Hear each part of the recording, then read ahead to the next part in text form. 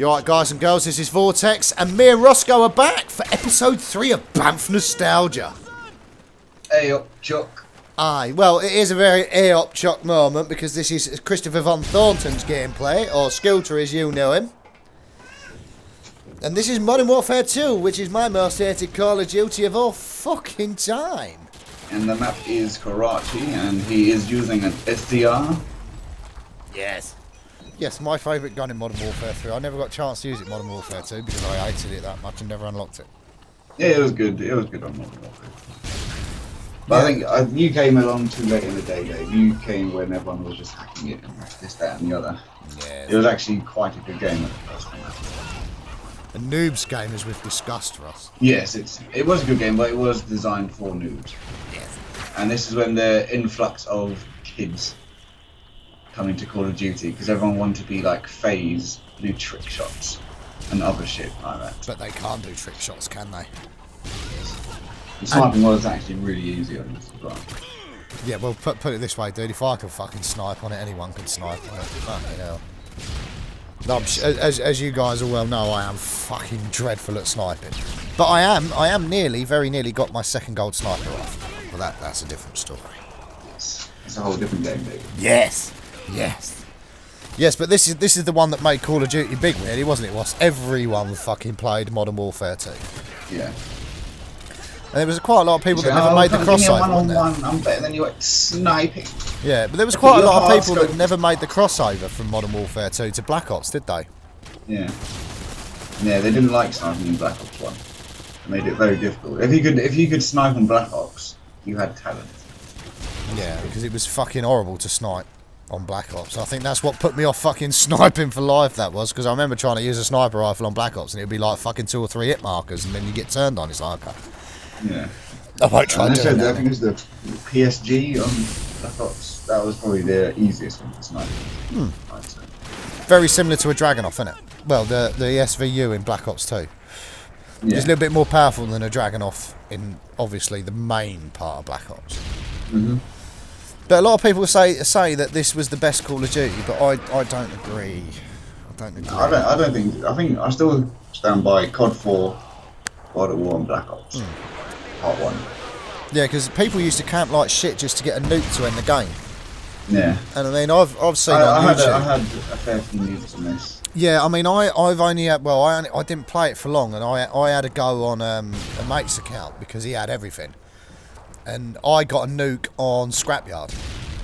Okay, yeah, that'll be a hard map to get on because it's quite a Yeah. close quarters map. Yeah, and I got a nuke on Scrapyard, and I, I did it with um I did it with a. But that's what everyone used anyway. Yeah. It wasn't the intervention, it was the ACR or the UMP.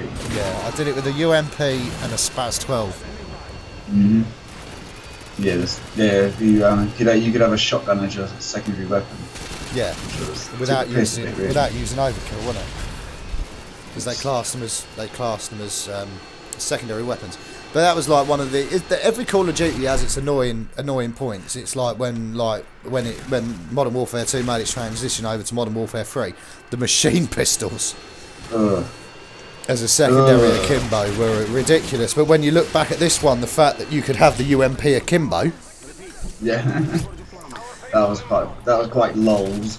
yeah, it's like the most powerful powerful fucking submachine gun in the game. Well, probably the most powerful gun in the game because it used to outgun everything, didn't it? Yeah. and you could have it akimbo and just run around hip firing it. It was it was bad enough hip firing it when there was one, let alone fucking two of them. Uh, and saying that, Scooter got killed by someone in the UMP. Yes, yes, yes. Scooter's, Scooter's most hated gun. I can still remember the day that Modern Warfare 3 come out, and I can remember Scooter screaming. His exact words were, "Oh, you fucking arsehole! Get more original. That was Modern Warfare 2 killing me with a UMP. You fucking arsehole." Good old Scooter. Good old Scooter, yes, yes. So th- this this is this is obviously him running around with an ACR. Yes. It's, it's quite a good gameplay actually. I mean, you, the, it's it's well, it's Modern Warfare 2, so it's bound to be a little bit fucking slower than others Yeah. because Scooter's, hiding in corners. yes, and Scooter has done this. This isn't this isn't off his own. He's done this off his own back. He's actually gone into hacked lobbies and stuff to try and get a gameplay for us. So it is a fresh gameplay. It's not one that he's had stored on his hard drive for like fucking three years. Well done, well done, Scoop. Yes, you, you you may have a lollipop, and if you're really lucky, Ross will touch you in the shower. You've done better than me. I played like five or six games and every one was hacked. Trying to get a game playing. And I was like, oh, fuck this. Well, the last the last time I ever played Modern Warfare 2 was with you. Hmm. When we were doing that multi-codtage, and I had that half-decent game on Quarry, and then as soon as I got the clip that I needed, I'd literally fucking smashed the disc to pieces. because You this lo- actually You love it really, Dave. this actually put me off Call of Duty because I, I played the campaign on Modern Warfare 2 because at the time I wasn't into online gaming. Yeah. Um, so I went in and I um, I actually went into multiplayer, and I just I just got really angry very very quickly. I actually platinum the campaign. I think. Did ya? Took Yeah. Well. Took me like the only campaign Year and a out of the. Call of Duties that I've played that I've never finished was World at Wars and Modern Warfare 3. So I got Platinum World War as well. So I enjoyed that game a lot. I got stuck on Modern Warfare on um, not Modern Warfare on World at War. I got stuck on it on Veteran at the bit with the where you fight the Japanese in the graveyard. Yeah, with the flamethrower and shit. Yeah, I got stuck there and it was just like it I was so I near think the I end. spent about two weeks to get on the. yeah, very frustrating. Well, that was when the But PlayStation network was down. So I went back and I went and played because um, I I'd been given a load of um, of um, games when I bought a console off someone, and World at War was one of them. And I thought, you know what, I'm just going to go through and do all the campaigns. Because this was when Black Ops come out, and like I got stuck, and it was just like I spent two days trying to do it, and it was just like, "Do you know what, fuck this, and I just put it down, and I never got the game out of the box again. But like Treyarch games do tend to make their veteran really hard. I mean, Infinity Ward, their veteran wasn't very hard.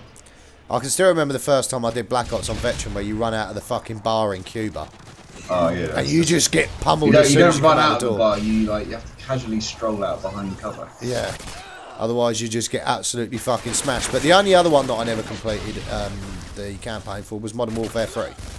Yeah. So I have to take people's fucking word for it that they finished the series on that night.